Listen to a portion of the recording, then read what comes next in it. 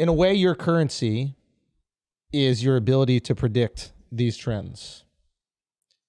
As you get more successful, do you feel an increased pressure to be right in the same way a Warren Buffett needs to be hmm. right every time? He's moving so much money. Yep. You're giving influence to so many other influential, successful people.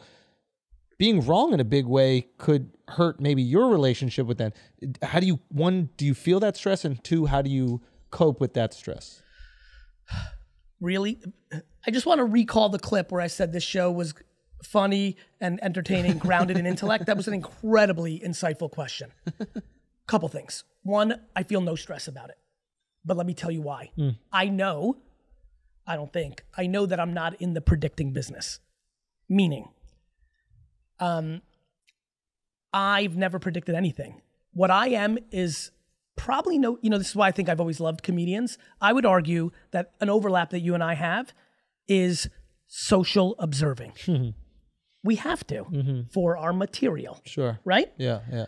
what i do for a living is i'm a human anthropologist watching people move and then using my talents to synthesize thoughts but what i do with my predicting in, in business which is really where i do it everything had already happened NFT, I I looked at CryptoKitties in 2017. Hmm. Nothing I ever talk about is Nostradamus, is predicting. All of it is fastest observation to truth and willing to bet the farm, thus being loud on it. Once I hmm. have my conviction, I'm there. As a matter of fact, this is a very weird thing that I, I, I hope we can clip this.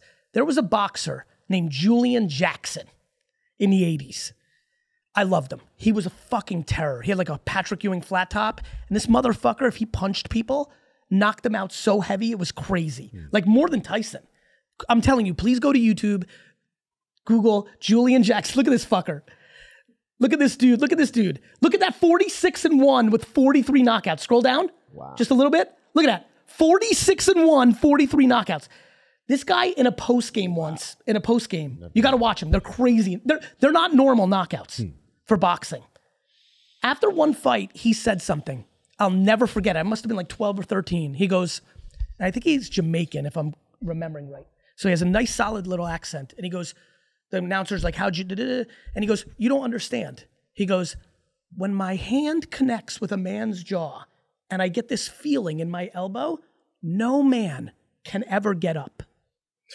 yeah, it was some hmm. gangster shit.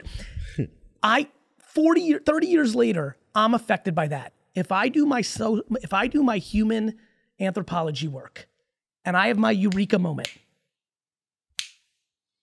Musical.ly is going to be big. It's next, aka TikTok. Uber is going to work. Look what just happened in New York. I can't believe it's working here. NFTs. Gonna. You. If I do my work and I feel that click, I will never be wrong because I haven't for 35 years. I sold all my baseball cards because I was at a baseball card show in 1993.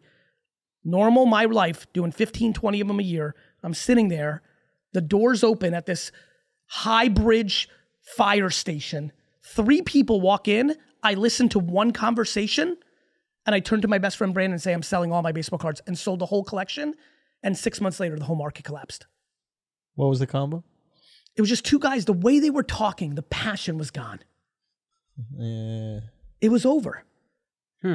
And and then I put all my money into toys, which ended up being right. I bought all these Star Wars from the 70s and all these Transformers, and I ended up being so right. eBay came out two years later, the whole thing popped off. Comic Con culture took over. I was so right. It's what I'm good at. Kobe's good at what he was great at. Beyonce's good at what she's good at. I'm going to be one of the greatest entrepreneurs of all time, not because I'm saying it, because fucking my parents had sex without a condom in Belarus in 19 fucking 75 at the exact right second, and then a lot of other shit happened along the way, and just here I am. And guess what? Who gives a fuck? I'm gonna die, have 24 hours of trending on whatever the fuck Twitter is of the day, and then everybody's gonna go on with their normal fucking life. Hmm. So I don't think I'm great because of it. Who gives a shit? But it is what it is. And so I feel no pressure because I'm great at what I do. Hmm. I felt more pressure coming up because it was how I got here. I needed all those. Yeah. I didn't have a Harvard degree. You had I was a hits. street kid. I was a Yeah. liquor. I had. I needed all those to get to this moment. Now Yeah. it's easy, but I value my legacy so much that I will never compromise it for any bag. If fuck, fucking some Saudi plus Russian plus China transformer comes to me, the three fucking wealthiest people from that company, and they fucking in front of me turn into a fucking Power Ranger, and they're like, "Darren, we'll give you 73 trillion in cash if you just tell everybody that, you know, oxygen should be bought like water was. We saw the Schulz thing and you should do that. I'd be like, fuck you, Transformer, and leave. Because if I don't believe it, the fuck? I, I had enough money when I made a hundred thousand a year. This isn't hmm. about the money anymore. This is about getting into the fucking entrepreneurial hall of fame. That means your word, your legacy, your actions, your execution. That's what I'm on. Hmm. Amen. Hmm. Fire.